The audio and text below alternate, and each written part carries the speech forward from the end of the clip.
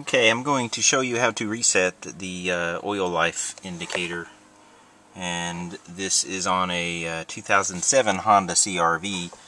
We just recently had the oil changed and they forgot to reset the indicator percentage. So as you can see it's at 30% and I have the key and the ignition at the 2. If you look at the uh, where you insert the key you'll see a 1 and a 2. Turn it to the 2 you don't have to have it on, um, just in the 2 position.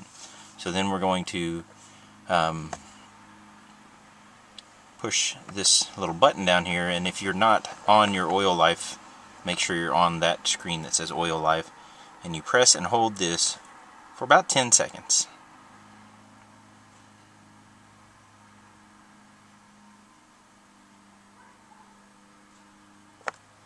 Okay, so then you see the oil, it says oil life and cancel on it. And you're going to turn this little knob till the oil life word is flashing. And then you're going to push this in one time. Now you see everything is flashing there. And now we're just going to push it one more time and hold it for five seconds.